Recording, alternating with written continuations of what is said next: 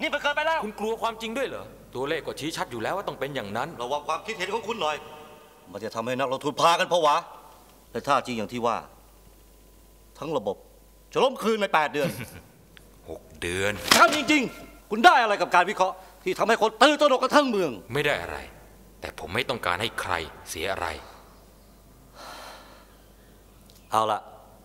ผมเชื่อข้อมูลของคุณ งั้นนั่งลงสิ ผมจะชี้ทางออกให้ ทุกวันอาทิตย์ มาถกกันให้ถึงแก่นกับฐานอาทิตย์วิเคราะห์ เรื่อง re-engineering ที่คุณว่า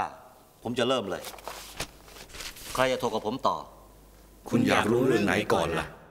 การเงินฐานอาทิตย์วิเคราะห์ หนังสือพิมพ์เศรษฐกิจฉบับวิเคราะห์ล้วนๆ